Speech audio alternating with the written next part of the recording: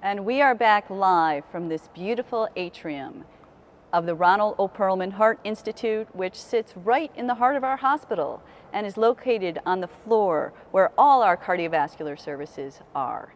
And uh, I'm so privileged to have with me tonight Dr. O. Wayne Isom, who is our Chief of Cardiothoracic Surgery. He, Dr. Isom, has, under his leadership, we have just celebrated our 30,000th heart, heart surgery patient here, which is an amazing accomplishment. And uh, what do you attribute to that? How did you have such a enduring well, world-class program? Well, I think, Holly, uh, everybody's touched on it tonight, and you did too. It's the collaborative, or I call it team approach. And it's, it's like you can, if you're going to fly from New York to Los Angeles, and you've got the best pilot in the world, you got to have a co-pilot, air traffic controllers. You've got to have uh, somebody checking the altimeter to the gas if you're going to get good results.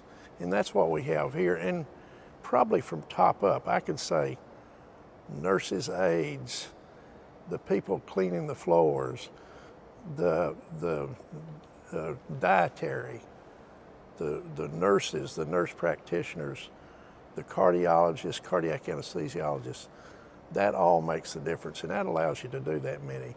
I do think this is a very special place with respect to collaboration like that and, and in recognition by you of all those people. It's just, it's, it's, it's inherent to our program. It's inherent to the personality of this place. Well, you got to have good results. In this country, you can decide where you want to go to get your care, at least for now.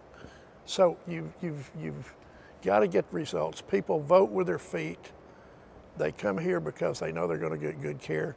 Even though we're on the cutting edge of everything, we are not experimenting on our patients. We look at uh, evidence-based medicine and, and try to practice accordingly.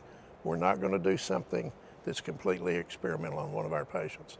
So we're at the cutting edge, but we're not going to experiment on them. The thing that this place adds, the Perelman Heart Institute, is the extra one of the things that's missing sometimes, especially in a big city hospital, is the personal touch. And this allows us to do that. It allows us to take care of the families, the support groups, as Dr. Krieger mentioned. That makes all the difference in the world in, in whether a patient survives and in, in how they do postoperatively. Surgery is just a small part of it. It's very important, but the evaluation of the patient, the support of the family makes a difference.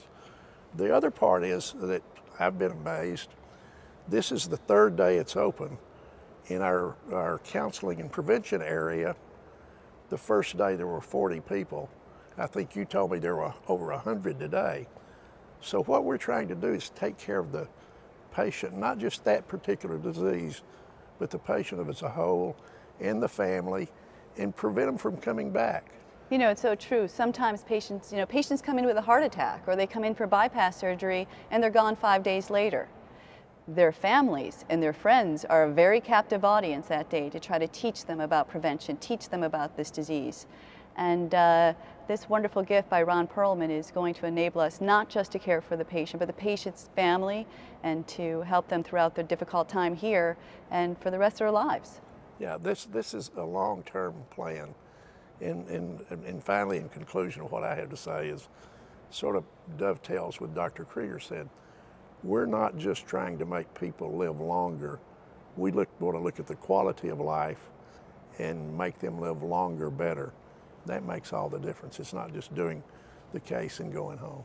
Well said. Well, thank you for tuning in tonight. Thank you for joining us. We've had a tremendous amount of fun, and we're very excited about the establishment of this institute. We hope it expands upon our expertise. And as Dr. Isom just said, one of our responsibilities and focus is to increase uh, education and increase our, our society's understanding of this disease because we know doing so will save lives. Thank you very much.